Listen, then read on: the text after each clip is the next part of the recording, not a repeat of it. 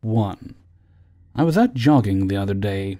COVID 19 restrictions have been lifted in my area, and I stumbled onto a paved path with grass and flowers growing on the sides, in a park that extends into woods. Kids commonly build these. There were tons of tree houses and escape houses in the woods, and it was leading into an open garden like area. Think a gazebo with seats and a glass roof, but the ground is not cemented. It was grass and weeds and flowers. Of course, me being a dumb person went into the gazebo and it was filled with Polaroids stuck to the walls, with turned off fairy lights and wooden clips. I obviously thought it was some teenage girl's hideout, it being clean and having a kind of TikTok vibe, the fluffy cushions on the seats, etc. When I walked out of the gazebo, the surroundings of the place didn't look the same. There was no paved path, no flowers and weeds on the sides. But the woods were still there, and the gazebo looked the same. I was super confused and thought, hmm, I probably didn't pay attention to my surroundings or misremembered something. I jogged back to my home, but I kept getting lost. I would be sure it was my house, but there was a small house where my apartment would be, so I pretty much started freaking out. I was walking around just trying to find my house. This never happened to me before. And remember, I was wearing joggers and a sports bra with a sweatshirt over. It's monsoon here, so I was feeling cold. When I was walking, I realized that everyone was wearing 90s clothes. You know, that retro hip look. So I thought, maybe there was some event happening. A costume competition, maybe, or some nostalgic event. I was wrong big time. I was trying to find my way back to the park so I could use the payphone there to call my mom and ask her to pick me up from there. I just ran. I don't know what got into me, but I had a feeling I wasn't supposed to be there. I ran all the way to the gazebo, but the payphone that was there all the damn time wasn't there. I just went in and sat inside the gazebo for some time because my head was hurting. And the last thing I remember was me dozing off and waking up. When I got out of the gazebo, the payphone was there. Everything was there. The paved path was there. I hightailed out of there and found my house this time. I really don't know if I'm crazy or if it was actually an hallucination. But it actually felt so damn real. And no, before you ask, I had a full meal that day and have been having food and water properly for the past three months, ever since I found out not having food makes me hallucinate. I've also been having all my vitamins and meds on time, so it's not that either. Could someone possibly tell me if this was an hallucination or if other people have gone through this? 2. I was a delivery guy using my own personal car. I did this for years during my studies. At about 9 p.m., I delivered a meal uptown in a rich neighborhood. I parked in the street in front of the house, turned off the car as I always did, and rang the bell. The client had my car in his sight but was concentrated on the transaction. It took about three minutes, and he paid with a card. This is when things got strange. I turned around and the car wasn't there. It was the weirdest moment of my life. It was a bright red Toyota Echo, Yaris in some countries. I looked in the parking spot, even though I know I haven't parked it there, and then the neighbor's parking. And then I asked the client to look in his garage, which makes no sense. Then I told him to call the police because my car just got robbed. At this moment, I thought I'd been set up. There's no way the guy hasn't seen my car get stolen in front of his eyes. He told me he didn't even notice my car at all, ever since I arrived. So he called the police. I was sitting on the curb where my car initially was, my head between my hands, because I couldn't believe this happened, and it made no sense. I didn't hear anything, and he hadn't seen anything. All of this in a neighborhood where they all got double garages and big houses. Then I watched to my left where the police car should arrive and notice a red car far away on the same street. About 500 meters far. I start running there, and the more I'm getting close, the more I felt weird and started seeing stars and black spots. Maybe it was the emotion and the moment. I quickly realized it was actually my car when I got close. It was parked perfectly on the opposite side of the street, wrong side. It was still off, had the handbrake on, tested and functional, and was on first gear as it should be. I knocked the door of three houses in front of where the car ended to see if anybody had seen anything, and they hadn't. On the way back to the client, I noticed somebody watering his garden. He hadn't seen anything either. So there it is.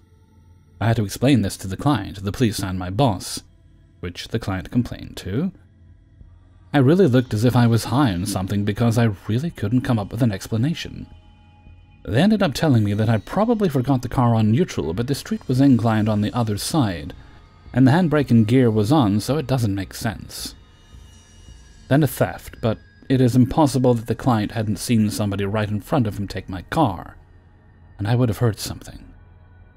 I often think about this. Everything felt strange this night. People were acting weird, the air felt heavy, and I got a massive headache for the rest of the night. 3. My teenage daughter and I decided to take a drive around the town my parents live in. I lived there on and off for 30 years. She lived there with us for around 10. We walked and drove all over, so we are familiar with the roads. We were recording everything on my phone. We started at an old cemetery. Then it started to rain, so we decided to drive around a bit, then go to a local park. The first place we went was to a house the locals call the castle, a huge stone structure with gargoyles and an iron fence. It never stays occupied for more than a year or two, but nobody has ever gotten a story out of previous owners, since they all seem to move far away. After that, we drove to the park. That's where the first strange thing happened. We turned onto the street the park is on, and both noticed the park was too close to the intersection. There should be two houses with really big yards. One of the houses had a big yard, but the other, mm, the yard was way smaller than it should have been. The park is old, it hasn't had new construction in years. The part of the park right there is an old basketball court made of cement, cracked, faded. Grass growing in it, the hoops vanished a long time ago. That was odd, but the park itself seemed normal. It stopped raining, so we wandered around the park for a few minutes and got back in the car. We ended up driving, sort of aimlessly, until we ended up turning onto a little street called Flint Road. It should have almost immediately curved sharply and intersected with another street. But it didn't curve. Just went on straight for way longer than the road actually should have been. When I went back later and checked on Google Street View, the turn is visible from the intersection. The street should have nothing but woods on the right side until it ends. But after about the right amount of time for the road to have ended normally, houses started to appear. They weren't particularly old, but they also weren't super new construction. After a couple minutes, I started getting really confused. I knew the road was supposed to turn, and I knew it wasn't this long. The road finally ended, and we turned. I haven't driven that way in a few years, so I couldn't be sure exactly what it was, but something about the intersection seemed wrong. The road turned dirt, and then things really went weird. It was the wrong road. I don't know how else to describe it. My kid was unfortunately pointing the phone toward the passenger side window, and there weren't any houses on that side. But the ones I saw on the right, there's no way those are the ones that show up on the map. And according to a check online, most of the houses on that dirt road were built around 2006. Even just looking at the video of mostly woods on the passenger side, looking at the street view of the area, there are some geographical features that are off. Things that can't be explained by just grading the area by the road or trees growing up. And it seemed like it was longer than it should have been. I figured out the length the dirt road is supposed to be, and it should have taken about a minute. Maybe a minute fifteen to drive at the speed I was going. It took us about two and a half minutes. For it to have taken that long, I'd have had to be driving at a walking pace. The dirt road ended at an intersection, with a road that puts us back where we started. Again, the intersection and houses around it seemed off somehow. But I can't say exactly how. I want to say it's just because I haven't been down in a while and things are growing up more now. But it seems like it's something about the layout of the houses. Their placement isn't right. But I can't point to something and go, that's wrong in that way. Anyway, it was weird. 4. This happened in late 2017. I was working in the online selling department of a fairly large pawn shop and second-hand store, where people could buy stuff on our online store, and I would deal with liaising and posting out their newly purchased goods. On this particular morning, someone had purchased a wristwatch. I don't even remember the brand, as it was just a mega cheap one. I went out onto the retail floor and got the watch out of the cabinet.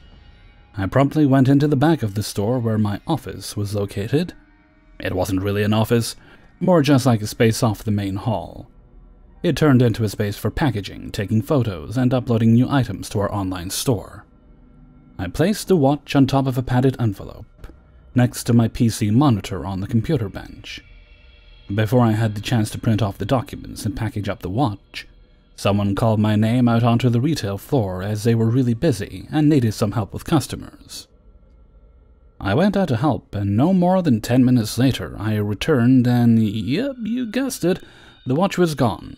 However, the padded envelope was still where I had left it. Of course, this was super strange, but I wasn't confused or anything at this point. I just thought someone had taken it as a joke for whatever reason. So I began asking all of my coworkers if they had seen the watch. Obviously, no one had seen it, and no one was even anywhere near my office whilst I was gone for that ten minutes. My office was fairly isolated compared to the rest of the place, so I was actually lucky to see anyone in the whole shift if I didn't leave the area. I began ripping through my whole workspace, lifting up boxes off the ground, looking in said boxes.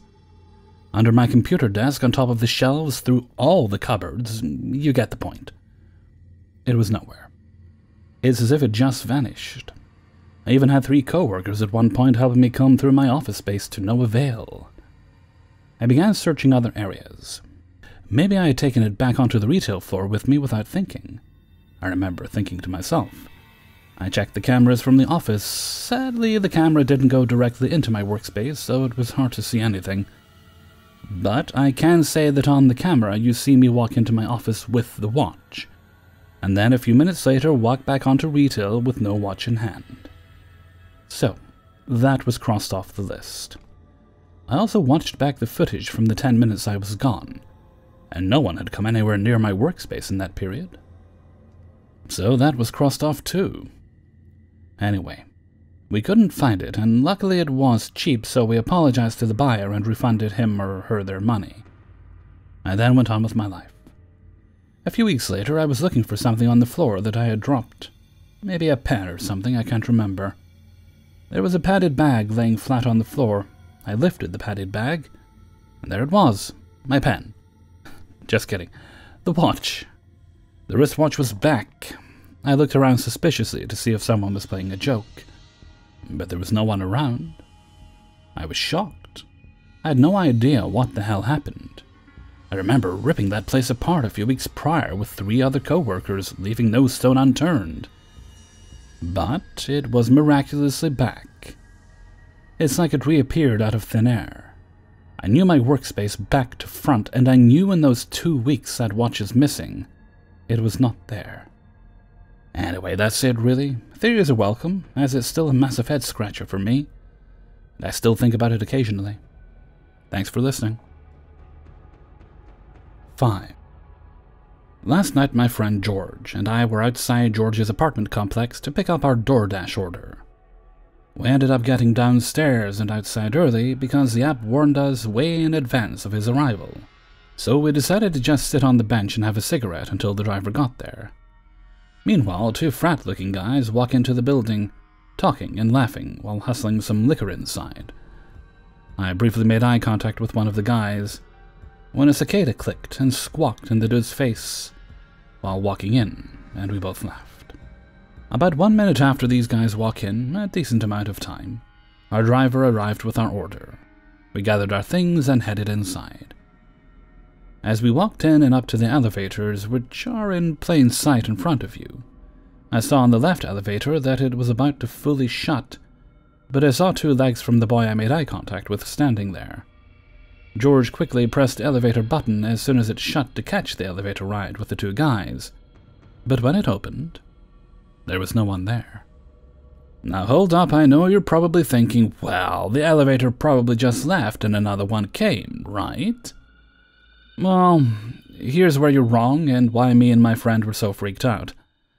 As soon as we realized there was no one in the elevator, George and I looked at each other and at the same time just went, What?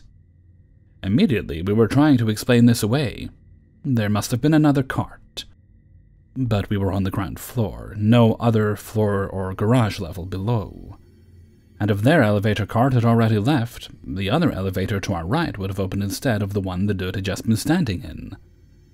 We got into the elevator and didn't press any other buttons, and attempted to open the elevator door that was behind the car to see if the garage level opened. But after about ten rapid presses and waiting, that door never opened either. So there was absolutely no way this dude, or two of them, and we just didn't see the second one, could leave that elevator cart within a split second between the door being shut and us clicking the button to open it back up. 6. I was driving home from work last night. I was in a bit of a rush, so I was driving fast. I was hurling down the freeway at 85 miles per hour, windows half down, the stereo singing to me, and yellow sunlight warming my surroundings.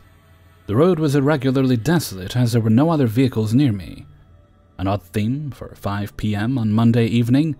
Typically, there is a steady flow of traffic at rush hour. The car closest to me was about 100 yards or so ahead of me. There were no vehicles to either side or behind me. As I approached the appropriate exit to bring me home, I threw on my turn signal, scoped out my mirrors, and did a full head check to my rear left. The coast was clear, and I proceeded to hop into the left lane. Halfway through the execution, I realized that I was neck to neck with a box truck. I was flying down the freeway at nearly 90 miles per hour, and I was merging into a vehicle five times the size of mine. At this moment, time seemed to almost stand still. As I made eye contact with the other driver, I read the panic on his face. My eyes scanned the rest of the vehicle as I braced for impact. I was able to make out the logo on the side of the truck. It read, Don Pancho Tortillas. My knuckles glared white as I clamped my grip, my shoulders stiffened as I flexed my back. My brows scrunched and my eyes squinted as I clenched my face. At that point, I heard what I can only explain as the beginning sound of a collision. A sharp noise of clashing metal, yet only briefly. The sound ended almost as soon as it began. As I relaxed my grip, my squinted eyes, I regained focus. There was no box truck. There was no collision. I was in the left lane unscathed, happy to be alive, a bit vexed. I pulled over to evaluate the situation. I had no explanation. I was just happy to be alive, happy to go home to my family. Later that evening, my wife and I decided to take the family on a walk. I was putting our six month old baby into the stroller, standing in the open doorway leading outside. As I was buckling the baby in, my Siberian husky, Luna, darted between my legs and outside. My neighbor Steve was standing in his front yard with a friend directly across the street. Luna, being the cuddly wolf she is, decided that she needed to go say hi to Steve. I quickly calculated the recipe for disaster that was about to unfold right in front of my eyes. Luna began to sprint down our driveway towards Steve and Company. My house obstructed the view of the road from my vantage point, but the faces on Steve and his pal illustrated the danger that was coming. The familiar slowing of time that occurred earlier in the evening was back. As Luna came within a few feet of the road, the approaching truck began to join within my line of sight. The angle of pursuit was on course with an imminent collision. I glanced at Steve and his guest as they both frantically waved their arms and yelled for Luna to stop. At this point, Luna was halfway in the road, and the truck was about to make impact. Steve and his friend both grimaced and looked away as to not see the horror that was about to occur. I closed my eyes. I was certain that when I opened my eyes, my beautiful Luna would be deceased. thank God, somehow she survived. She made it across the street to Steve's yard. She was absolutely shook but uninjured. She was laying on her back while howling and crying in Steve's yard. She refused to get up for several minutes. She came to eventually, and we went home. For the rest of the evening, she was extremely affectionate and refused to leave my side. This morning, I was rethinking the situation over and over in my head. I decided to have a look at the footage from my ring camera. There was a car parked in my driveway that was blocking my view of the dog. But when the truck came into the field of vision, it clearly had Don Pancho Tortilla graphics on the doors. 7. This happened several years ago when my friend and I were in high school. We would always hang out at either his house or mine. We happened to be at his house that day. He lived in a pretty normal suburban neighborhood, with about a mile of woods behind his house separating his neighborhood and another one. We liked to go back there and explore the woods every now and then, instead of staying inside and gaming. One of the times we were exploring for a while, we were kind of just circling the woods. After walking around for about an hour or so, just chatting and messing around, we came across a seemingly random house right in the middle of a big clearing. We'd been in these woods several times before, but never saw this house. We figure we must have just never come out this way before. We move closer to investigate, and the place is basically destroyed. It's a single story house. There's a big hole on the back side of the house that looks like it was hit by a wrecking ball. We enter from there, and the inside is no different. All turn up furniture, walls, and floors make up the inside. At the time, my friend and I were fascinated more than anything, making theories and jokes to each other about what the history of this strange house could have been.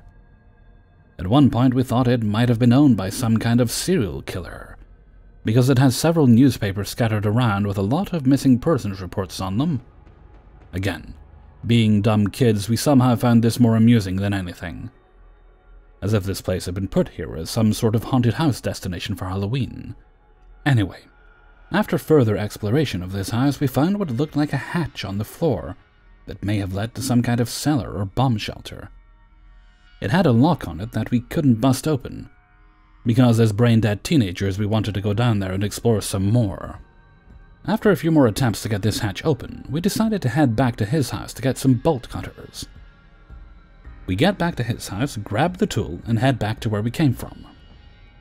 We had made our way back in the direction we thought the house to be in, but we never found our way back there.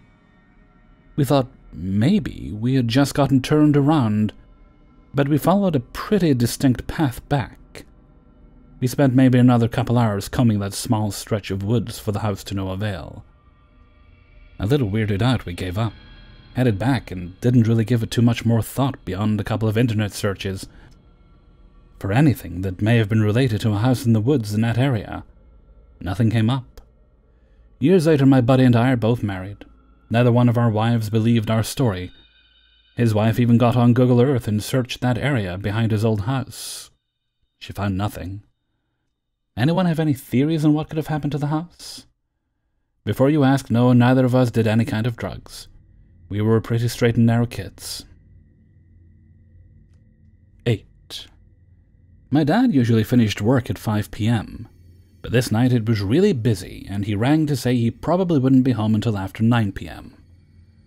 At around 7 p.m., I was inside our living room watching a football match with our dog. R.I.P. Jessie snuggled up on the couch. My sister was in the kitchen doing her homework. We were the only two people downstairs as my mom was taking a shower and my brother was in his bedroom.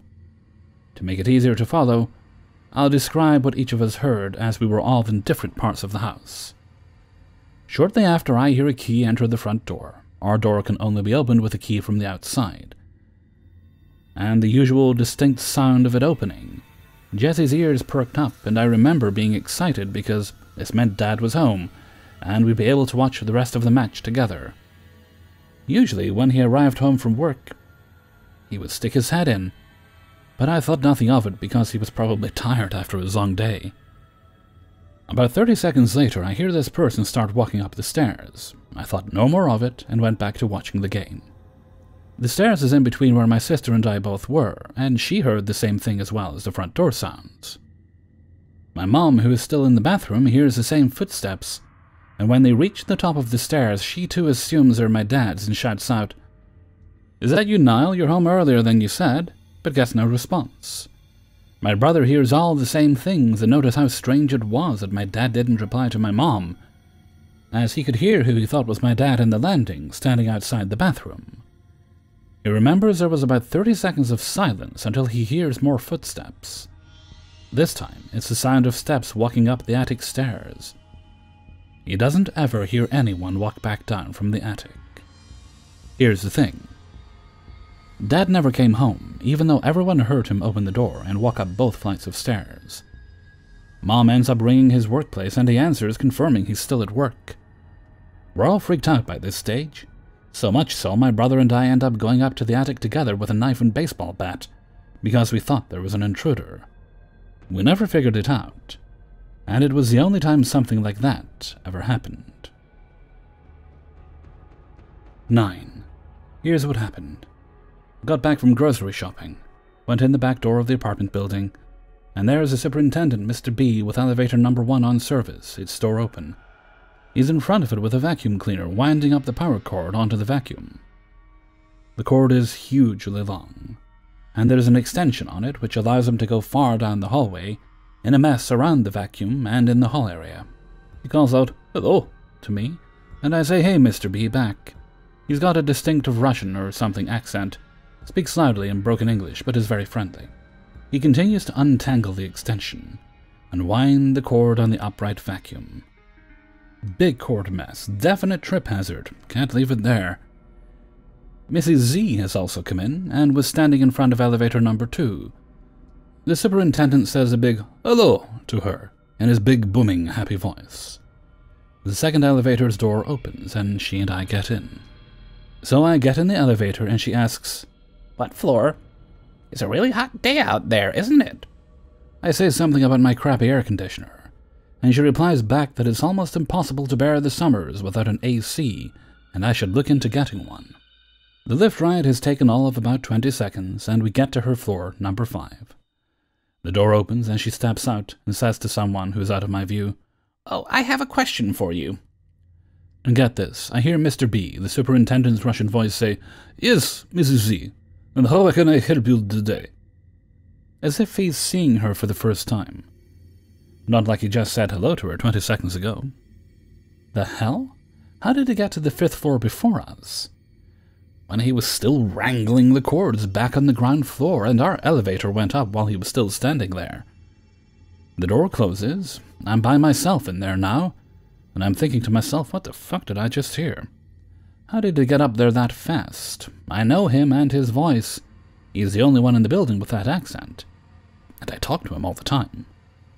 So I go up one more floor, which is, what, five seconds or more, and the elevator door opens. I get out and head down the hall to the right, only to hear the garbage chute room door open from behind me, back on the other side of the elevators.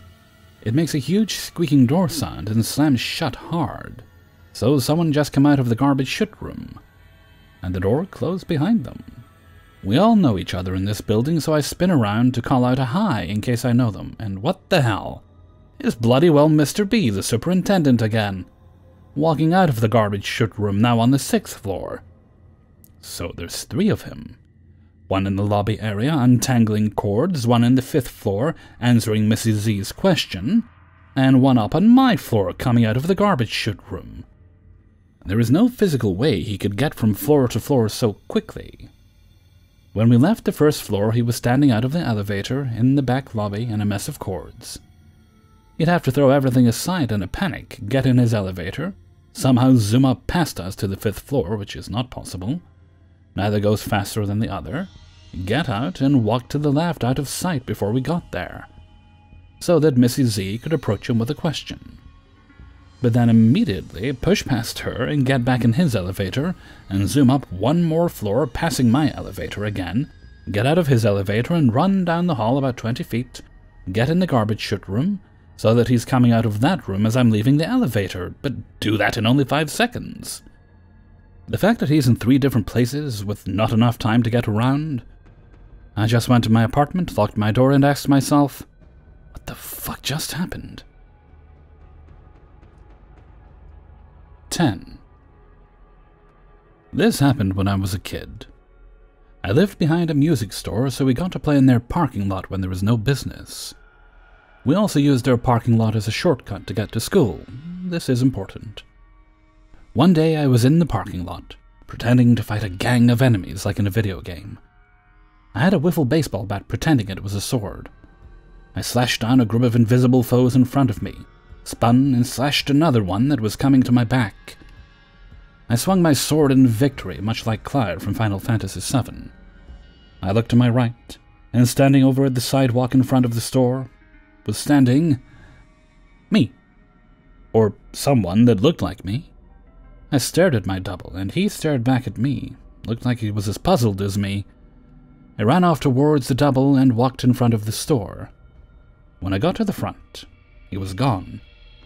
I ran back into the parking lot, and he wasn't there either. Confused in what I just saw, I told my father what just happened. He laughed and told me about doppelgangers. I love my dad so much. Two years later, I was walking home from school, down the street towards the music store, thinking on what happened at school. My thought process was interrupted by seeing my younger self playing in the parking lot with a wiffle bat, swirling the sword in victory like Cloud. I stared in shock. My younger self stared in shock. I remembered what happened two years prior. I walked in front of the store to catch my younger self off guard. Then I remembered what happened last time and stepped out to where my younger self should have been running up. But I was not there. So I walked home, bewildered. I told my dad what just happened. His face drained of color and stood up and excused himself. Apparently, he knew about alternate universes and glitches but I guess he felt I was too young to know about it. I loved my dad so much. 11. This took place about two years ago, and no one was drinking any alcohol or on any medication. So here we go. My mom has this really nice ring that is special to her.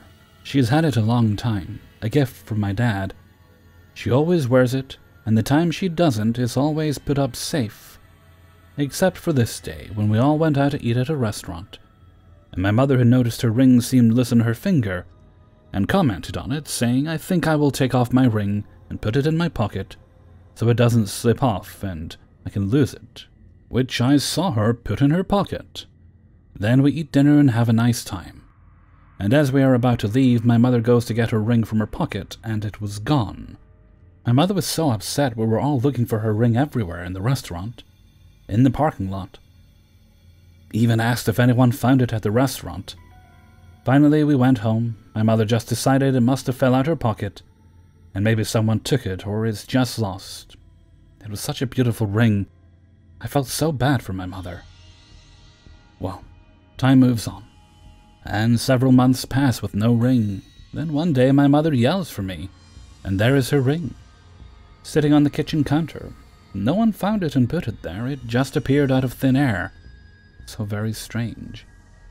But she was very happy to have the ring back, even if it was a glitch. 12. Hello. This happened to me about five months ago. It was Thanksgiving and we were having people over, my mom's friends and family. We were leaving to go on a walk somewhere, and were going to drive there, walk, and drive back. The place was about 10 minutes away from where we lived, and I was driving my family. I just got my permit, and my mom's friend was driving her family. So my dad was to point out where I was supposed to drive and tell the other family to follow me. He was making sure that they were right behind me at all times in order to not get separated. Now, this is where the glitch happened. We had got to the bottom of the hill, near my house, to take the first left onto, let's say, Street A, and the other family was in my rear view behind me on Street B. Now, I pull up to the turn and stopped at the stop sign on Street B to turn left onto Street A, and the other family's car is right on my bumper. Good, I was thinking. This is going to be easy. This was the first time I had to have someone follow me, and I didn't want to screw something up. As I looked left, then right, then left again, I didn't see a single car anywhere at all. I also checked my rear view right before the turn. Keep in mind, the place I live is pretty flat, so there's no way there could be a car anywhere near me without seeing it. I proceeded to make a left turn at a stop sign, and I saw the family right behind me doing the same thing. They turned with me, because there was no traffic at all. As I straightened the wheel after finishing the turn, I looked in my rear view to see something I didn't expect. In between me and the other family was three cars, and two behind them as well. This was impossible, seeing as they turned right behind me as I did. It's like three cars just appeared between me and the car less than ten feet behind me, that was already moving. There is no way they could have pulled out from other directions or something, because there were only two other driveways with no other cars in them. The weirder part is that right when I noticed this, I also noticed cars everywhere that were not there before, and traffic seemed to resume as normal after this. You could see about half a mile down both roads. No one else seemed to notice what just happened, and I asked my dad if he saw what the hell just happened, and he asked what I was talking about. I told him about what I saw, and he said I just wasn't paying attention. The only thing I can think of is that while I was coming down the street, a bunch of cars got in between me and the car following me, but the car right behind me before I turned was a small silver SUV, the other family's car, and the cars behind me after the big turn was a red truck, small blue car, and a black SUV. I asked my mom's friend if she saw the same thing I did, and she said no. She said that she waited for three cars to go after I did, but I saw her turn with me onto the street from Street B. She did notice a strange lack of cars as I did. Maybe someone can come up with something to explain this. I did, however, consider that I wasn't paying attention, but I know what I saw. I've been thinking of this for weeks now, and still can't figure out what happened that day. Thank you for listening. 13. I love architecture, and have in particular loved the Taj Mahal since I was a child. I remember tearing pictures out of National Geographic magazines and taping them to my wall. I've had it on my screensaver or background at multiple workplaces. I've bought calendars featuring it. While I have never had the money to travel to India to see it, it is safe to say that my relationship with the iconic building is a personal one. So you can imagine my surprise and horror upon watching a show on the Smithsonian Channel today, entitled Mystery Files, about a mythical identical Taj Mahal that was supposed to be built in black across the river from the original. All my life and all those pictures, there was always a smaller identical black Taj Mahal, in which the Queen's husband, Shah Jahan, lay entombed. I have never heard of this mythical one, or anything that was supposed to be built across the way. I was always impressed by the detail, how perfectly it mimicked the huge white monument, but beautifully contrasted by its jet black marble, and about one third of the size of the original. I know about the mosque and guest house on the other side of the Taj Mahal, and the Agra fort. These are not what I'm referring to. This was a smaller identical structure situated to the left, our right viewing it. I remember as a child I even assumed that the big white tomb was for the king and the littler one for the queen, India being a patriarchal country and all, when I found out it was the opposite. I was very impressed by the fact that Shah would actually make his tomb smaller than his wife's, especially in the 1600s. I always wondered if he ran out of time or supplies as his own death drew near, and he ended up having to hurry and settle for a smaller version, or if his love and honor for his wife had really overshadowed his need to construct a physical display of his power to echo down through the ages. Turns out, according to the program I'm watching, that not only did this black Taj Mahal not exist, but was intended to be the exact same size as the white one, there goes my idea of romance trumping self aggrandizing. I know this other Taj Mahal was there. I've been seeing it, thinking about it, and hypothesizing about the logistics of it my entire life. And it was to his left, not across the river. Now I know the Taj Mahal was built with sacred geometry in mind, and therefore perfect symmetry would have been of the utmost importance. I always assumed another structure was intended for the other side, but for whatever reason, failed to come to fruition. He had other wives, maybe for one of those or a child. I don't know. I didn't do my thesis on the Taj Mahal or anything. So, I don't know, and didn't back then know all the facts surrounding it. But I knew the basics that anyone with a fascination with a particular structure would know. The only thing that I know for sure is that it was once an intimate part of my personal history, and it has now suddenly become part of mythology. Perhaps even more disturbing about ten minutes into the program, while I was still in shock and totally freaking out about all this. I felt the memory of the original trying to leave my mind. It was as if the universe were actively saying, Oh, don't worry about this. That was just some silly thing you thought happened. This is what really happened. Seriously, like my cherished, lifelong memory was just walking down the street away from me. What do you make of all this? I looked all over Google Maps, took a virtual tour, looked everywhere, and couldn't find a building matching that description, or a description, for that matter, anywhere. Am I mistaken? Does anyone else have this memory? I've had a couple of other experiences I'd like to share in the future, but I need to share this one now in the middle of the TV program, before the memory is taken away from me. For good. 14. There is an old road near where I live, where an old mining town once sat. It's creepy and feels like you're being watched no matter where you're at. I decided to go to the road with a friend of mine after work, around 11 p.m. or so. We took the road and drove on it for a while, taking side roads and exploring when we wanted. Him and I crested a hill, and my car started to cut out. My radio began turning to different stations, and my headlights began to dim and then return to full brightness. We both felt lightheaded, and he passed out.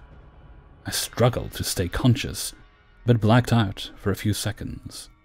When I regained consciousness, my car was nearly in a ditch, so I corrected it and straightened the car out. Our ears were ringing and we felt sick. I continued to drive, but when I looked behind us in my rearview mirror, our town was nowhere to be seen. All we saw was an empty, dark spot where our town was. As we drove down the road, the landscape was different. It looked like no one even settled there. The road became more difficult to navigate, and the fences that were lining the road were gone. We had no idea where we were. The road and surrounding area was foreign. My buddy decided to pull up his GPS to find where we were, and he had no signal. I tried as well since we all have different cell carriers, and I had similar results.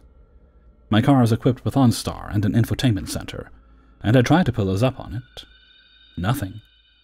My OnStar light was red, indicating that I had no signal to any cell tower.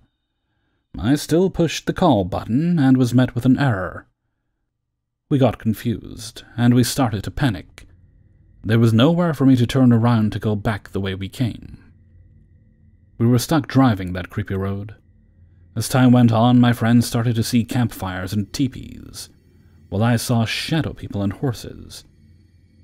The road became a trail, and became almost impassable. We couldn't go any faster than 10 miles per hour, sometimes 15 or 20. Our ears began to ring more, and the car became enveloped in fog and mist. When we came out of the fog, the road was then gravel. We had no idea what was going on or where we were still. No cell signal, no OnStar, no GPS. Nothing. My car started to stutter, the lights were dimming, and my radio was all static with voices every now and then. My onboard digital compass started reading north, then east, then southwest, then nothing. Suddenly, we saw bright lights behind us roaring up to my car, blinding us. Then, as quickly as they came, they went, vanishing at this point.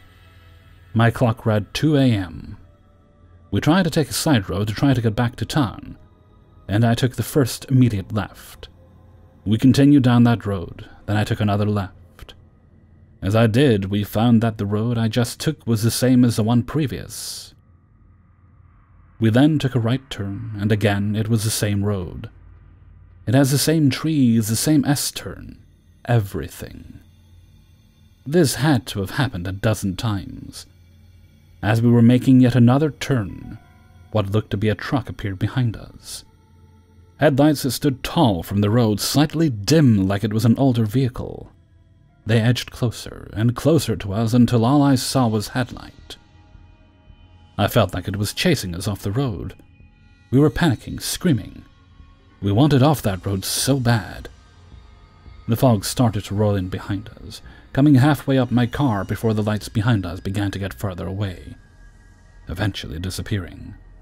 My radio started to get a signal, my phone buzzed with a notification, and my OnStar light went from red to green. The road we came to was the one we were on before the hill. I turned right, hit the main road. We didn't talk the whole way back. I dropped him off at his house, and I went back to mine.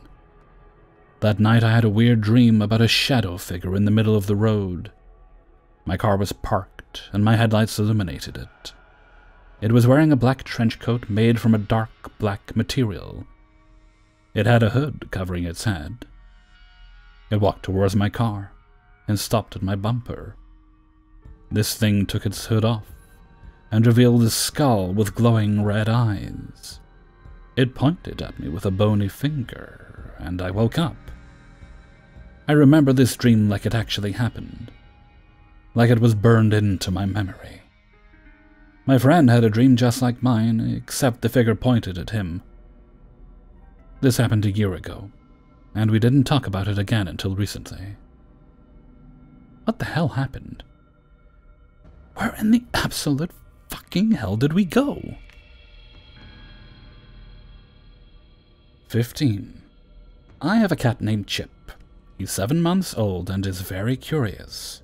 Too curious. It's burning hot here, so we have to open the windows at night. I live in a gated community and it's totally safe. Because the windows are open, Chip stays in my room at night while I sleep. I spend most of my time downstairs, and he does too. We have a routine we follow every day for going to bed and getting up. I take melatonin. I grab my water bottle and phone. I fill up my water and bring it upstairs. I go back downstairs and pick up Chip and bring him upstairs. I enter my room with him and close the door. He goes to the window, and I go to sleep. That's it. I did that. I know I brought him upstairs because my family saw me carrying him and said he's grown. I know I closed the door with him inside because my mom entered my room to say good night, and I watched as the door closed. Chip was in the room. It was 5 a.m. and I couldn't sleep. Chip wasn't on my bed, so I called for him. No answer. I tried again and said, Chip, come here. Louder. No answer. I worry a little before I remember sometimes he likes to sleep under my bed, and when he's in a deep sleep, he doesn't answer. So I stop worrying and go back to sleep. Here's the thing about Chip. He knows his name and understands the command, come here. He always meows back when I say his name, and when I say come here, he always answers. I wake up at 9 a.m. and look around my room. No chip. I call his name. Nothing. I jump out of bed and search my room. Still calling for him. He's not in my closed closet, not behind my nightstand, not under my bed.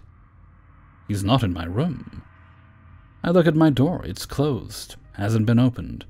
I go downstairs in a panic, only to find Chip on the couch, resting his eyes. I call out and he answers with a meow. I walk over and set him on my lap. I'm confused, but calmer knowing he's safe. I text my mom, thinking she might have moved him when she woke up. She didn't. I ask her if she knows my door was shut. She's positive. That's when I take a closer look at Chip. His fur is clumpy and what looks like mud on it. I'm trying to brush it out right now. I know it's not his litter because it's too big. He's an indoor cat. He's only walked on the grass a couple times with a leash on. He's never even seen mud.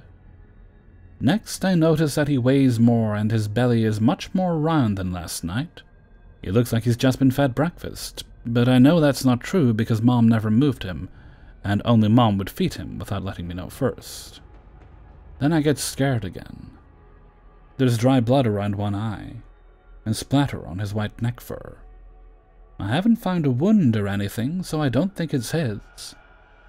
We have another cat, and they fight, but once again, Chip was in my room, where the other cat was not.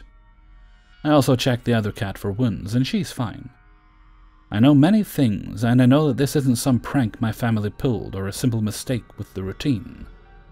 My family doesn't pull pranks and would never pull a prank involving me while I'm asleep. They know I struggle with insomnia. My family, once again, knows to not open my door and let Chip out. Only my mom would enter my room to take Chip out because she knows how to not wake me. I'm still confused, but I'm happy knowing Chip is safe and, from the looks of it, fed I'm keeping an eye on him to make sure the blood isn't his, and I'm probably going to give him a bath to get rid of the harder to get clumps of mud. This was not a fun way to start my morning. 16. Before the pandemic, I worked as a support and shadowed teacher for a kindergarten kid with autism. I was employed by her mother, not the school, so she bought me two polo shirts to wear as my uniform, one was white and the other one was green because those were the school's colors. When my country was quarantined, March 2020, the schools closed and the kid's mom helped him with his online classes. They didn't need me anymore, so I washed those two shirts and put them in a plastic bag in my closet, hoping this would be over in two weeks or a month. But it wasn't. And since I don't wear polo shirts, I own and wear t shirts, crop tops, and blouses, I forgot about them until I was looking for clothes to sell because I was unemployed. I opened the bag and grabbed the shirts with one hand. The white shirt was on the top, and I felt the bottom, the other one, was thicker.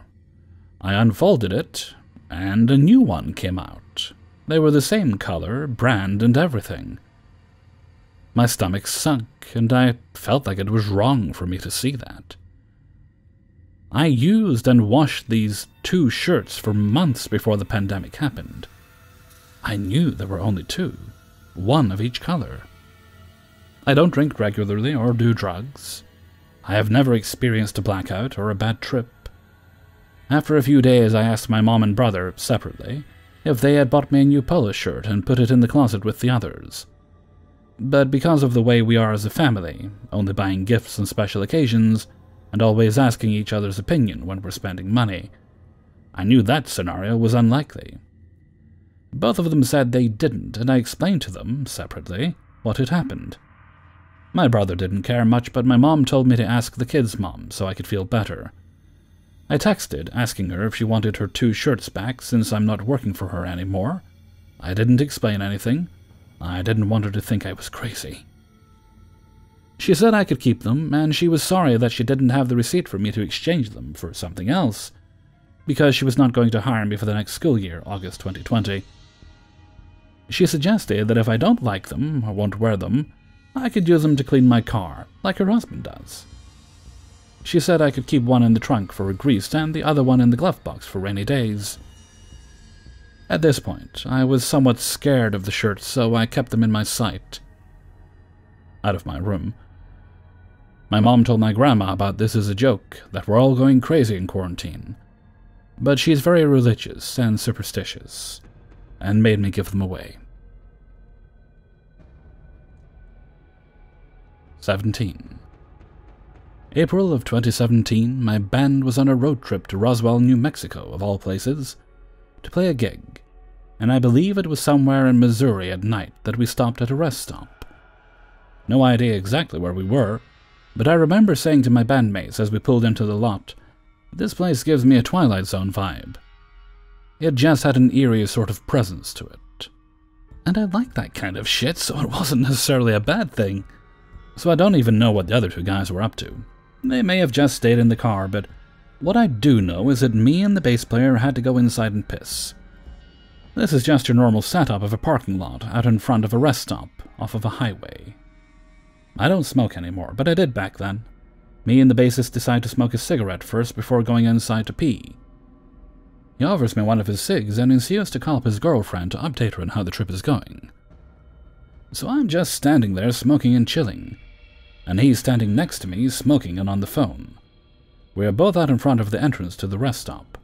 and we are both facing outwards towards the parking lot with our backs to the entrance of the building.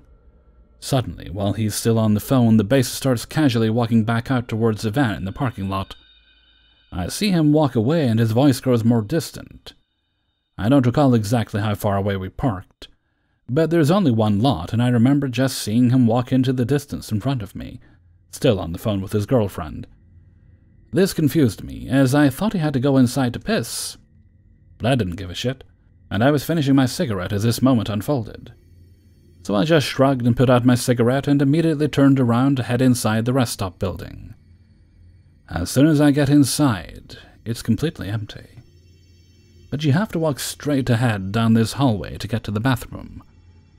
I remember there was some sort of Route 66 clock that had a spiral shape or something directly above as you enter this hallway. It just, overall, had a Twilight Zone sort of vibe to it. I don't know how else to explain this experience. So I'm walking down the hall and I get into the bathroom. And I hear someone in the stall who was talking on the phone. His voice sounds exactly like my bassist. No one else is in the bathroom. I can't see who's in there. But I'm standing at the urinal pissing and laughing about how weird it is that this guy sounds so similar to my bandmate but I know for a fact that it cannot be him, as it would be physically impossible for him to have gotten into the bathroom before me, when I literally just saw him head out towards the car in the parking lot, about 20 to 30 seconds earlier at most. I even said to myself, now that would be ridiculous if it was somehow him.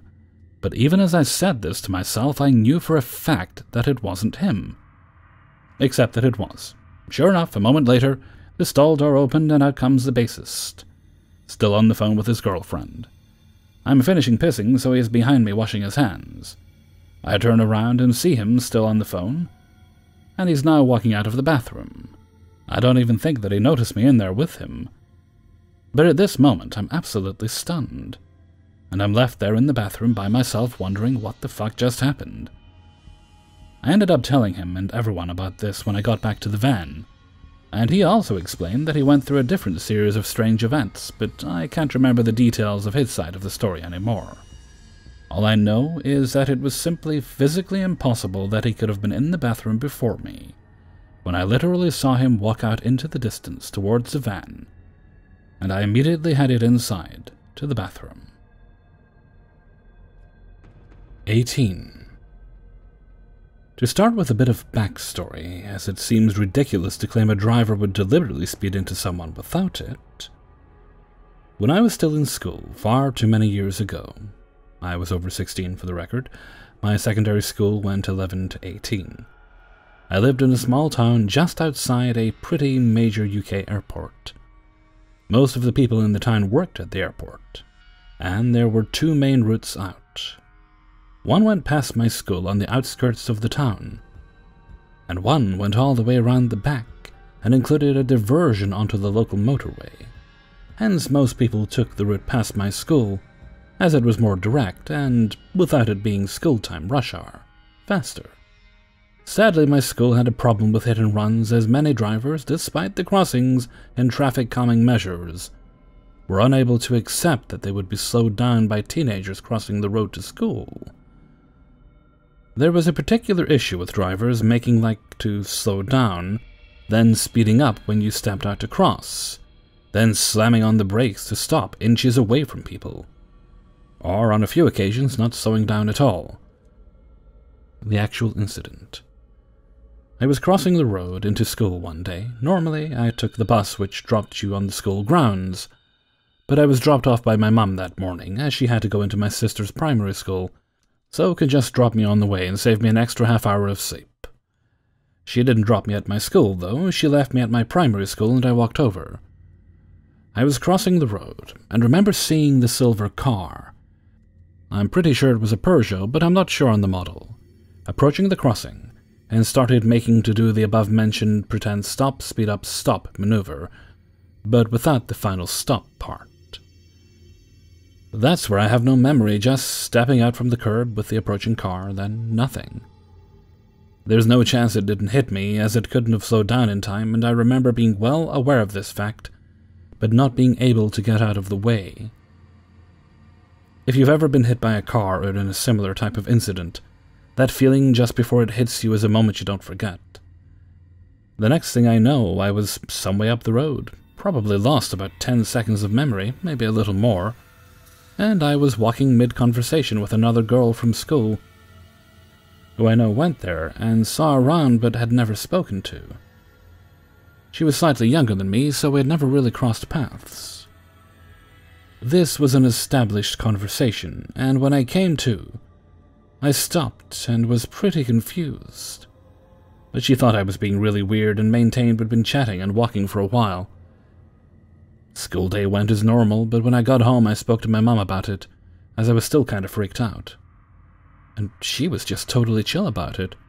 She was the type to overreact, so this was strange in itself. She, I put this down to her being religious, not a paranormal experience, just said my dead great grandma had probably saved me and not to stress over it. Still to this day, I have no idea what happened and believe it was some sort of glitch. There's no way.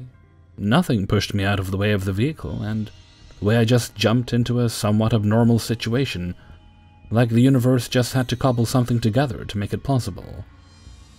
That I would never normally have been there makes me think maybe I shouldn't have been, and the universe had to correct it. I don't know.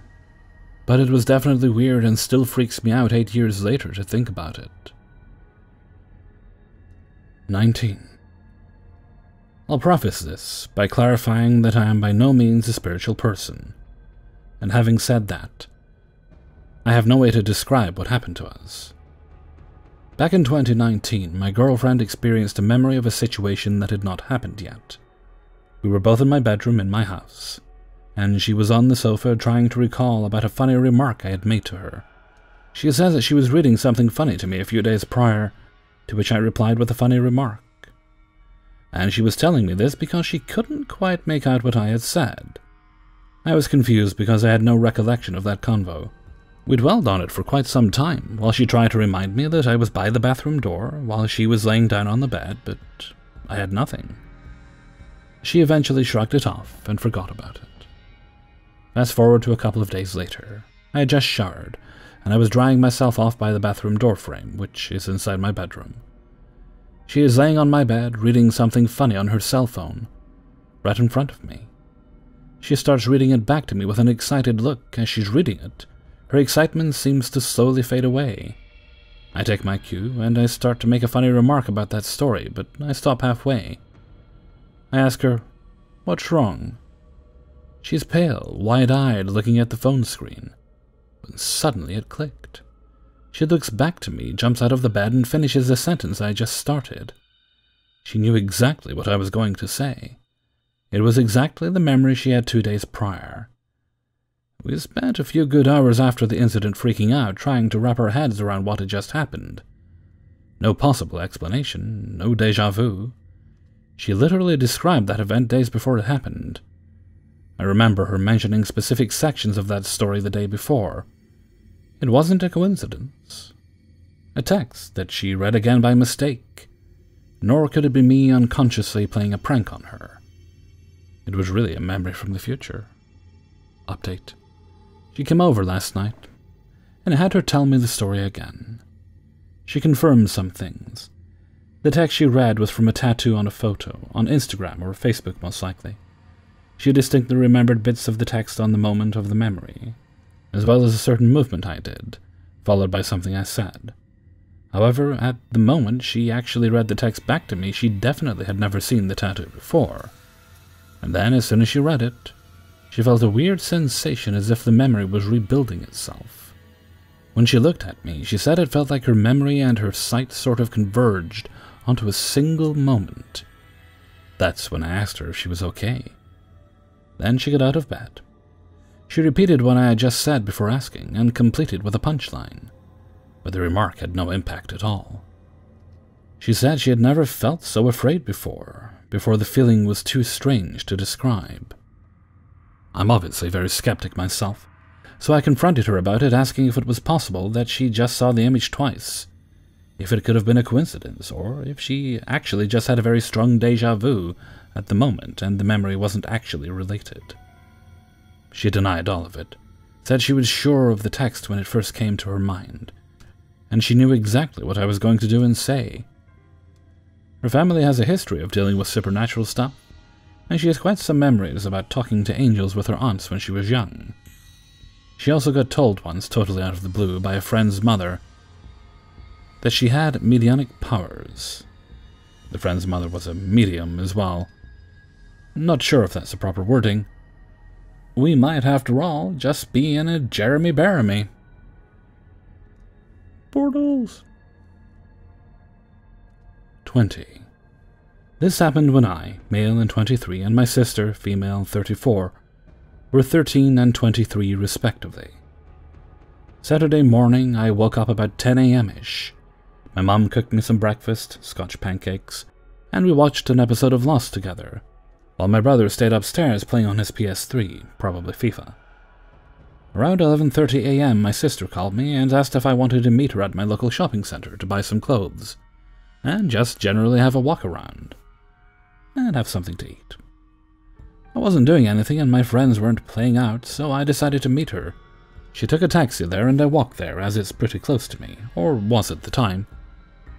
We had a generally good time. Didn't end up buying any clothes, my sister did. We had a meal at a cafe about 1 p.m. and got an ice cream each afterwards, where you buy a cone and go and make it yourself from the machine. Although I broke the machine pin on the lever and got a bit upset because I thought I was going to be made to pay for this. But the manager came over and said it's happened a few times, no biggie. We went to Mr. Sims' old fashioned sweet shop and bought some sweets weighed them up and paid for them. Going home, my sister ordered a taxi in, but this time I got in. The taxi dropped me off at home, and she stayed in and went home.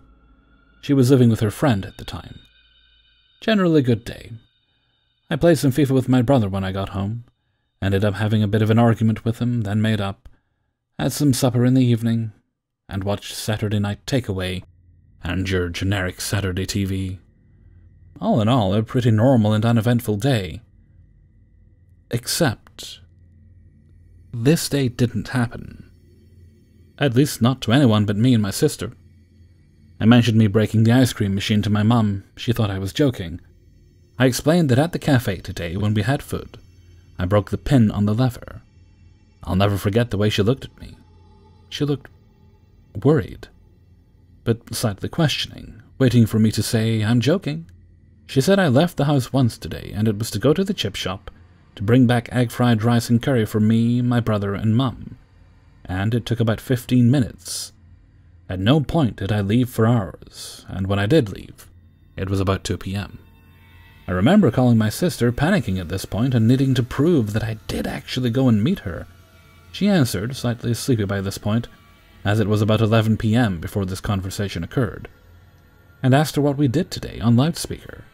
She went through the exact same story I've just told my mum, including the ice cream machine, including what she bought, and including what sweets I got from Mr. Sims.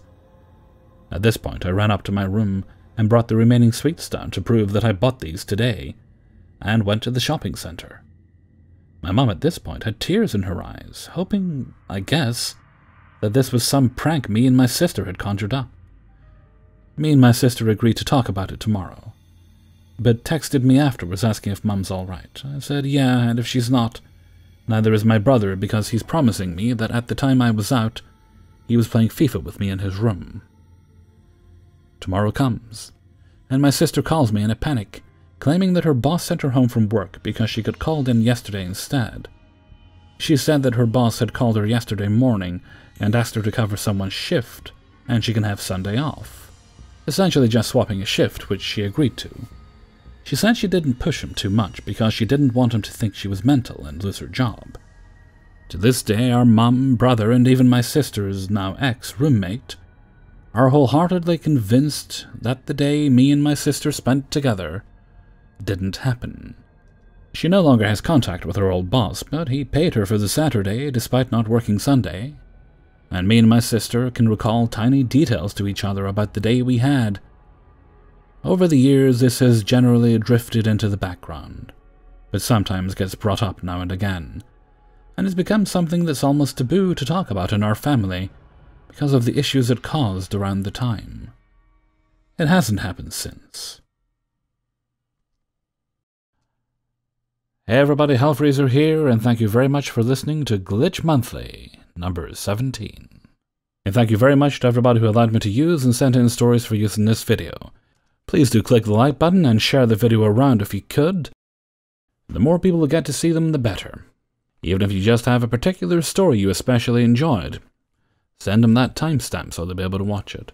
I'd also like to give a little shout out to the author of story number 10. Uh, see, their YouTube name is uh, Railuge. I think I'm pronouncing that Railuge. Yeah, that sounds right. Uh, they also have a YouTube channel, and I will link to their channel next to story number 10 in the description. Thank you very much. Right, what day is this? Let's see. It is the 24th today. Uh, I don't have any special plans for today. That's good. Uh, I have to make one video just for tomorrow's paranormal, but that's okay. Right, I'm off to do lots and lots of editing, and as I do so, I'll be listening to a new podcast I discovered called Verity, uh, where a group of six ladies talk about Doctor Who. Alrighty, and with that, I'm gonna head off for now. So until next time, thank you very much for listening, and take very good care of yourselves.